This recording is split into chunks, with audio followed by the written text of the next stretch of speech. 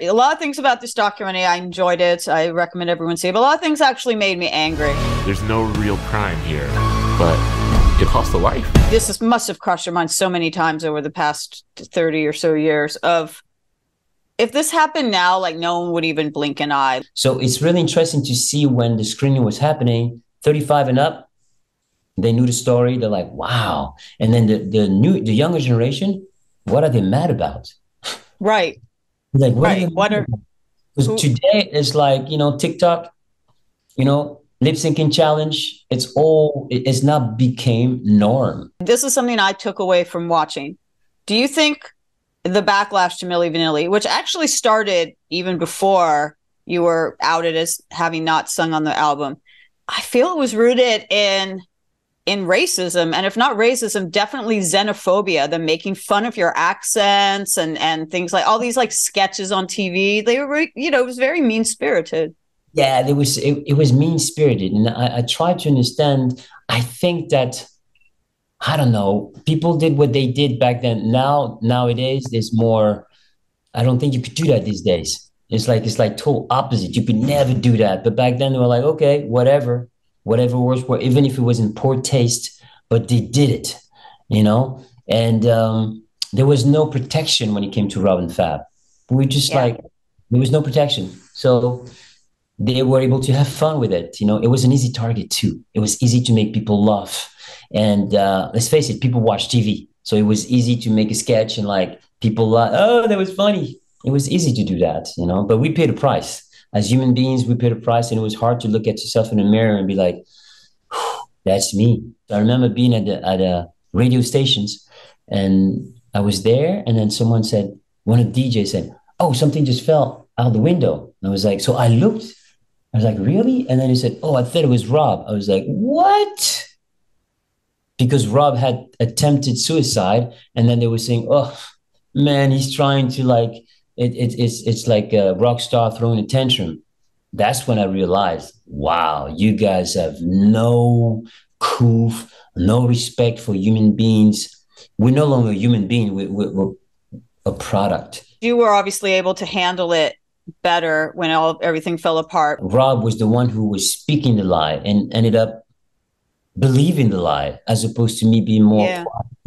not really being outspoken. Of course, I embraced the lie. I was part of it, coming from nothing, wanting to live my dream. I trusted them. Then they manipulated us to get what they wanted.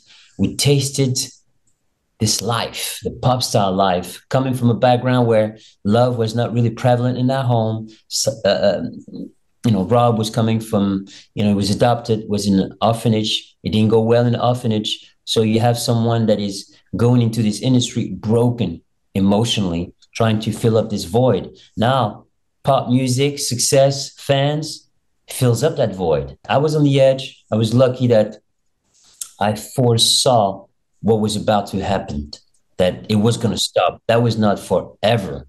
So I kind of protected myself. One of the heartbreaking scenes in the film was or when you talk about when you saw um, Rob outside the Viper Room. Was that, that was the last? Yeah, was. Yeah, it was. Tell me about that.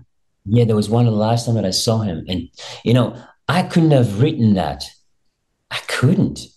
I saw him. And what I saw, I saw his eyes because a car passed by and he lit up his eyes. I was like, oh, I know those eyes. Like anywhere in the world, I would recognize his eyes. And that's why I walked over. But the shell of his body didn't look nothing because he was masculine and they was really skinny, scrawny and his, his eyes, and you could see he was he was gone. He was an addict that was rolling around, running around on, on, on the floor, trying to to sit on the curb, trying to recover because he had done way too much, what too much of whatever he was doing. And I tried to bring him back because I was like, okay, I gotta bring him.